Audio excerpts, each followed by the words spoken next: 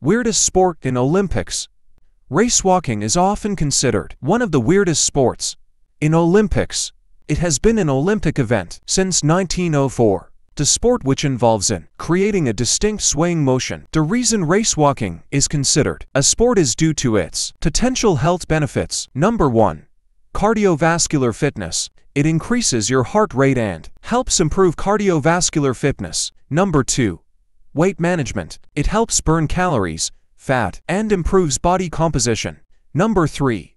Muscular strength and endurance. It helps to tone muscles, improves muscular strength and endurance. Number 4.